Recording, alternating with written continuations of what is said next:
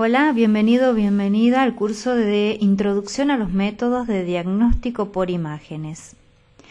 En esta primera presentación vamos a ocuparnos de la radiología o radiología convencional. Quiero presentarme primero, mi nombre es Silvana Ciardulo. Soy médica especialista en diagnóstico por imágenes. Soy también docente en la Facultad de Medicina de la Universidad Favaloro. En pocos minutos no hubo duda sobre ello. Los rayos que salían del tubo tenían un efecto luminiscente en el papel. Lo he probado con éxito a distancias cada vez mayores, incluso a dos metros. En principio parecía una nueva clase de luz invisible. Era claramente algo nuevo, algo no registrado. Estas son palabras de Wilhelm Röntgen que están tomadas de su biografía.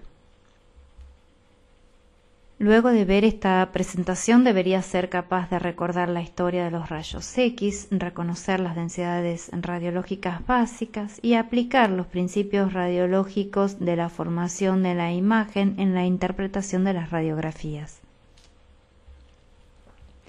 El contenido de esta presentación está dividido en tres temas. Breve historia de los rayos X, las densidades radiológicas básicas, y los principios de la formación de la imagen radiológica. Comenzamos con una breve historia de los rayos X. En el año 1895, Wilhelm Röntgen descubrió los rayos X en su laboratorio de Würzburg, en Alemania. En realidad, él estaba estudiando los efectos del paso de una carga eléctrica a través de un tubo de vacío. Cuando notó que una caja de cartón pintada con un material fluorescente brillaba si estaba al lado de un tubo de rayos catódicos. Él se dio cuenta de que esto era causado por un nuevo tipo de radiación que llamó rayos X porque consideraba que eran desconocidos en ese momento. Vamos a ver cuáles son las densidades radiológicas básicas. En la imagen vemos una radiografía de tórax frente. Este es uno de los exámenes que vas a encontrar con mayor frecuencia en tu práctica asistencial. La densidad más oscura corresponde al aire. La forma correcta de describirlo es como radio transparente o radio lúcido o transparente a los rayos y corresponde a un tono negro o casi negro. Tenemos con un tono gris oscuro la densidad que representa al tejido adiposo o densidad de la grasa y en este caso lo encontramos en el hueco supraclavicular. Con el término mediana densidad describimos las densidades de las partes blandas que corresponden al agua. Y acá tenemos señalada la silueta cardíaca. Recordemos que la sangre se encuentra en las cavidades cardíacas y en las estructuras vasculares del mediastino. La mayor densidad en el organismo corresponde a la densidad del calcio y se va a describir como radio opaco o radio denso. La vamos a ver en todas las estructuras óseas, en este caso está señalada la clavícula izquierda. La quinta densidad no se encuentra en condiciones naturales en el organismo, sin embargo es cada vez más frecuente encontrarlas en las radiografías por la presencia de dispositivos médicos.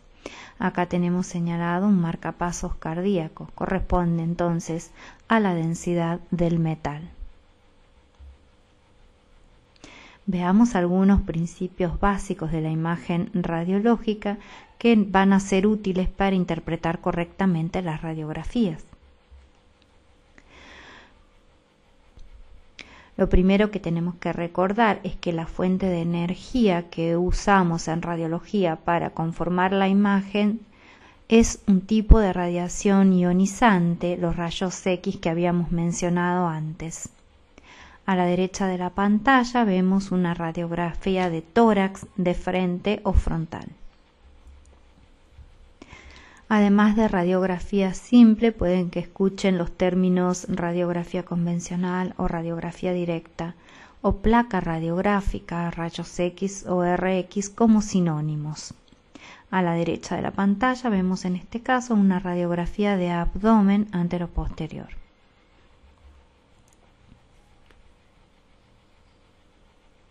Un principio radiológico básico que tienes que conocer es el de la suma de densidades. Significa que las imágenes se crean por múltiples densidades de tejidos superpuestos. La densidad final del objeto va a ser mayor a medida que tiene más superposición de estructuras. En las imágenes vemos una radiografía de tórax de frente a la izquierda y una radiografía de perfil o lateral a la derecha de la misma paciente.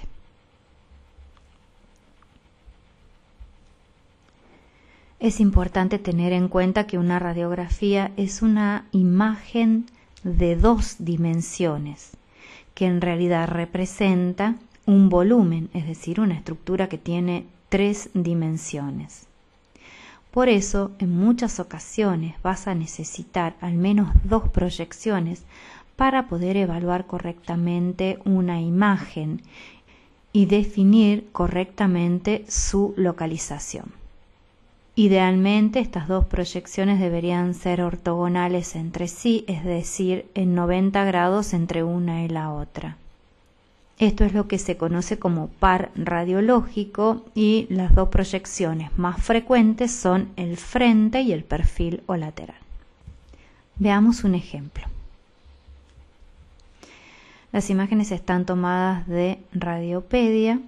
La referencia está al pie de la imagen. Vemos entonces una radiografía de tórax frente. Algunas de las imágenes con densidad metálica que se pueden ver son frecuentes y fácilmente reconocibles como la sutura external que se proyecta sobre el mediastino o la imagen en el tercio inferior del hemitórax derecho que representa un piercing. Con flechas blancas está señalizada otra imagen de densidad metálica que está proyectada en la línea media. Si contamos solo con la proyección de frente, será difícil localizar correctamente esta imagen y por lo tanto interpretar a qué corresponde. No podemos asegurar si su localización es anterior, en el centro o posterior. Si tenemos una proyección lateral o de perfil, podemos ver que la imagen, nuevamente señalizada con las flechas blancas, se encuentra en la región posterior del tórax y corresponde a un neuroestimulador espinal. Y acá podemos ver también claramente en la pared anterior del tórax la sutura metálica external y la imagen que habíamos identificado como piercing que es superficial a las partes blandas en la pared anterior del tórax. El signo de la silueta es uno de los signos radiológicos clásicos y es un signo que aplicamos con frecuencia en la evaluación de las radiografías. La imagen que vemos a la derecha de la pantalla es una radiografía de tórax frente. En el pulmón izquierdo vemos una opacidad con una densidad similar a la de la silueta cardíaca. En este caso el signo de la silueta es positivo porque no podemos ver un límite claro entre ambas imágenes las cuales representan a la silueta cardíaca y a una condensación del pulmón izquierdo. Por el contrario, el contorno de la silueta cardiovascular a la derecha es bien definido por el contraste con la densidad aire del pulmón adyacente. Hemos revisado en esta presentación una breve historia de los rayos X, las cinco densidades radiológicas básicas y los principios fundamentales para interpretar correctamente una radiografía. Gracias por tu atención. En la próxima presentación veremos las bases de la tomografía computada. Si quieres leer más sobre el tema, te recomiendo estos artículos y comparto los recursos que he utilizado para diseñar esta presentación. Nos vemos en la próxima clase.